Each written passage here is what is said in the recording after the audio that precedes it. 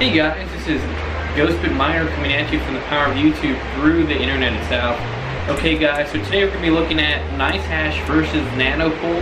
We're going to see which one we can actually make the most profit off of. Again, the reason why we're doing this type of video is because a lot of people do like starting off with NiceHash because it's kind of like a click and play type of miner where Nanopool you have to put some more elbow grease in to actually get it to work properly. So we're going to look at that guys. We're going to be using my three card GTX 1060 6 gig uh, cards because they're pretty much what most miners start off with. They're super affordable um, and they're easy to put together. So we're going to be using this little rig to figure out which one y'all should be uh, using, guys. So let's go ahead and take a look at that. So guys, so this is Nanopool right here off this three card rig and so far I've been running it for about three days and I've been averaging 972 solutions a second and this is way this is the way this uh, rig is set up. Um, I have two super super clocked editions uh, the 1060s from EVGA then the one in the middle is the 4 the Win edition and we're running off of two version 9 PCIe risers and one version 6 PCIe riser just because I thought those were the PCI 9s or the uh, version 9s um, we're using a hard drive a Pentium Intel Core processor, two sticks of 4 gig RAM, and a Asus Z170E uh, motherboard, which holds up to 7 cards if you use the M.2 adapter to PCIe. So let's go ahead and take a look. Again, so this is NiceHash running on this computer right here. So I can, I mean, sorry, this is Nanopool running on this uh, miner right here. And uh, afterwards, we're gonna go ahead and look at how much you're making uh, with Crypto Compare per day, and then we're gonna compare it to NiceHash because it kind of gives you a little more easy readout of that. So let's go ahead and get downloading. Uh, let's let's go ahead and get to downloading that NiceHash miner to this um, mining rig. Okay, guys. So I've been running uh, NiceHash miner version 2.0.1.1, the beta and uh, so far I made two dollars and fifty three cents um, which is okay I guess on today's market since it's such a low market I think today's Zcash actually hit an all-time low uh, for this year 2018 of $210 so it's been kind of low so even mining Zcash um, you know I don't know if you're gonna make as much as this miner. So right here, mining with a uh, NiceHash, I guess the benefit is NiceHash does all the work for you. It picks up different type of pools and different type of uh, cryptocurrency. So you can see the uh, the Dagger Hashimoto right here is what it's mining at with all the cards. Um, so I guess NiceHash is doing a little better, but there's some downfalls to NiceHash, guys. Uh, and we're going to compare NiceHash versus uh, Nanopool, but so far, uh, NiceHash is pulling $2.53, and I actually had this miner running for six hours just to make sure it's um, it's accurate. And the reason why there's $3 right here for balance payout is because I used to use NiceHash before it actually got hacked, and I lost a little bit of crypto when it did get hacked, and they're reimbursing people. I got reimbursed because I didn't even know, but I got reimbursed 20% of what they owed me, which is kind of cool. But the downfall about Nanopool, I mean a NiceHash, is it only pays you out when you hit 0.01 Bitcoin. Um, so that's all you can get paid out is BTC, which is Bitcoin. Again, one, let's, I don't even know how much that is. That's a lot of money. So it will take a long time to hit 0.1 um, Bitcoin. Uh, so we'll go back into that and see how much that is. Uh, right now, the top of my head, I don't know, but I'm pretty sure that's at least a couple hundred dollars. So it would take me forever to reach that point, and you never know with uh, Nano with NiceHash, you had to keep it on their wallet to get the lowest fees. Um, if you use their wallet, I think it's a two percent mining fee, and that's all. And then you can actually transfer it to Coinbase, which is a zero percent transfer rate. So I was looking into that. That's, that's pretty new, but it has to be over 0.01 Bitcoin to actually transfer over. And we'll look into that rate right now once we get to it to see how much that is in USD. Um, so we're going to go ahead and compare it to uh, Nanopool, which I use the uh, I think it's a Claymore miner. We'll go look into that also in a little bit. So um, yeah, let's go ahead and check out and compare and see if we're making if we're gonna make more than two dollars and forty seven cents on Nanopool. So I have a crypto compare pulled up. On today's market, crypto compare is showing that Zcash is worth $215.88 a coin. And like I was saying before in the beginning of the video, um, I was mining uh, nano on Nanopool for three days. and My average solution second was 973 uh, sols a second with a 2% mining fee because I'm using the EWBF miner on Nanopool. So it's 2% mining fee.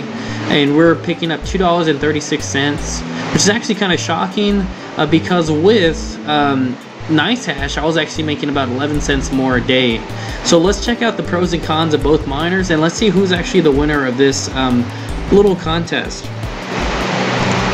So here's NiceHash. I made a little um, little document so we can see the benefits of it. So yes, uh, NiceHash is a free uh, software to use. and also comes with a pretty cool app. You can actually visualize what you're making with that app. It's kind of cool. I like it. It adds a different feel for it. And again, like I was saying in the beginning, it's very easy if you're just getting into mining. It's a very easy plug and play, and then you just click it, and it starts on its own. Very easy to use. There's step-by-step -step tutorials on how to use it all over the place. Uh, high profitability, I do like this part.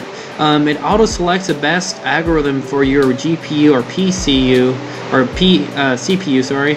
Um, so that's kind of cool. So again, if you're a new miner, I like to use this to kind of figure out what coin is the best to mine and what coin I can make the most money off of. Especially if you're getting into this. Um, my favorite coin is Zcash. That's just me.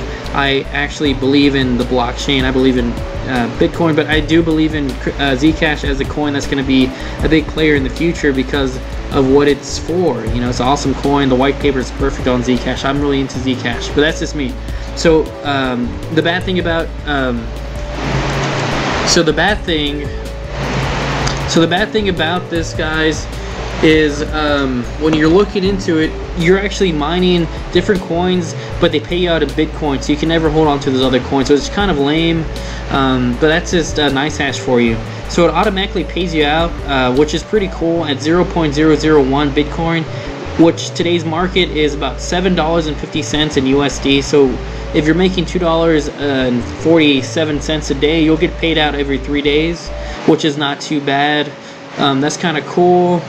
Um, again, it's a simple uh, inter interface, so it's easy to use one click. So for you new miners out there, it's something y'all can think about just to get your uh, toes wet. And then also online, you can watch your stats, which Nanopool you can do the same thing. So again, that's that's pretty cool. Nanopool is kind of the same way. And then there's additional settings you can use to configure your uh, miner uh, with NiceHash.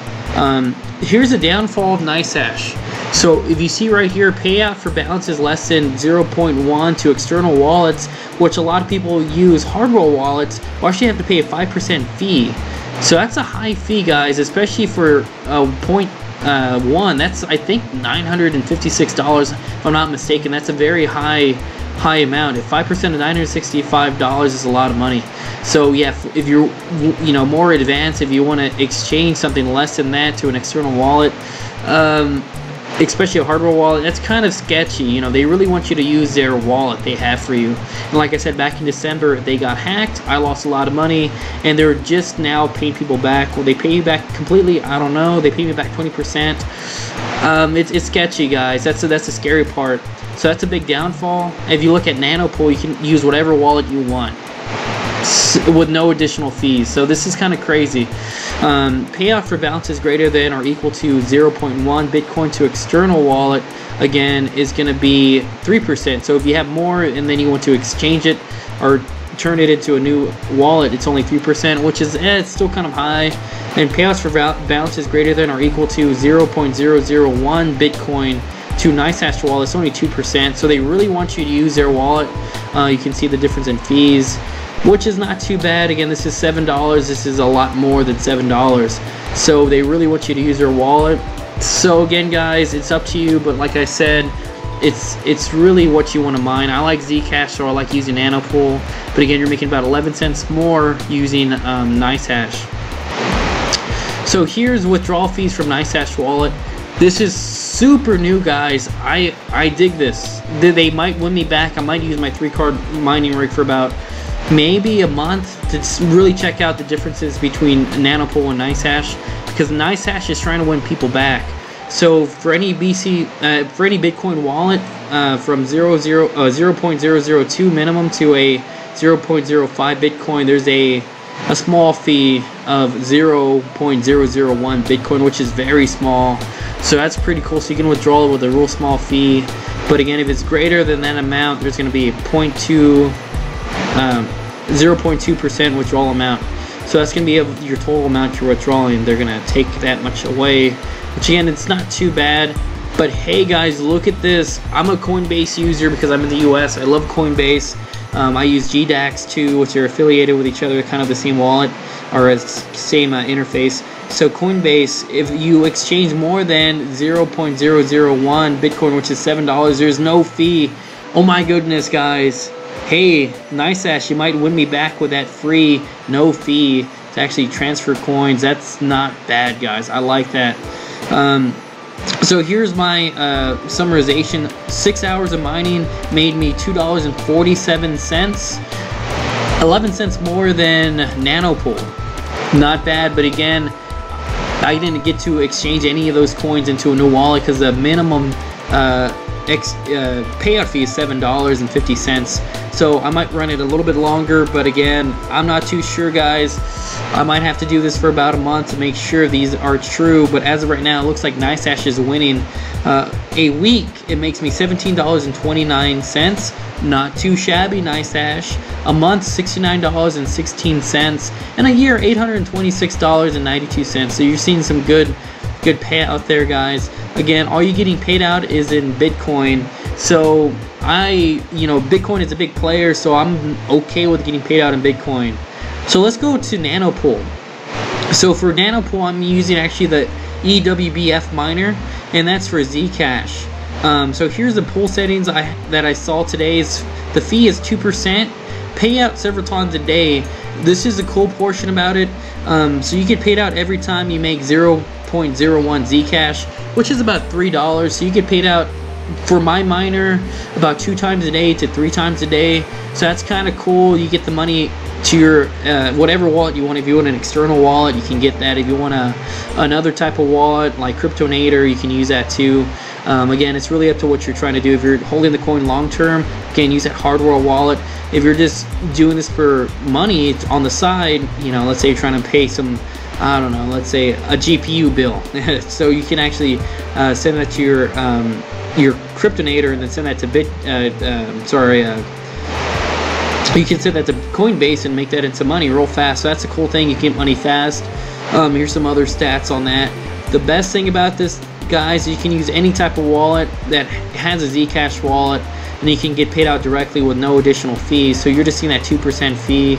Um, so here's a summarization on this. For three days of mining, made me $2.43. Um, it actually went down a little bit since I was running that. So uh, I think it was like, let's pull up this real fast. Um, it was actually, yeah, two dollars and thirty six cents because you know right now the market going up and down. So 36 cents. So these are to be a little different. So I'll just leave it like that. So I did this a little earlier when Bitcoin uh, Zcash was a little higher. But let's go ahead and look at this as the settings right here. So as you can see, there's only a $13 difference in a year. Um, so it's really up to what y'all guys want to look at. But if you're looking at the hard facts, NiceHash still came on top. I might need to run it a little bit longer, but for this one day um, competition, looking at Nanopool versus NiceHash, NiceHash came on top. So okay, again, guys, uh, I'm gonna run this a little longer, but as of today, March 17th, St. Patrick's Day 2018, NiceHash is uh, the winner of this little competition. It beat Nanopool, which is shocking. So what I'm gonna do for y'all guys, since I like my viewers so much, I'm gonna run NiceHash for one month straight on three cards and run Nanopool, the EWBF, um, the EW, sorry, EWFB for one month and I'm going to compare them because I have two mining rigs so I'm going to compare them and I'm going to see who comes off on top as the top dog but as of today guys NiceHash won this competition Again, guys, please like, share, and subscribe for more videos like this. Leave your comments below if you have any additional comments. Let's say if you run NiceHash and you get better um, uh, profitability on NiceHash than I do with a 1060 G, uh, 6 gig, let me know. Or if you think Nanopool is the best because of whatnot, just let me know in the comments below. I'm always here to try new things. Awesome, guys. Please like, share, and subscribe. I'll see y'all soon. I'm out. Goodbye.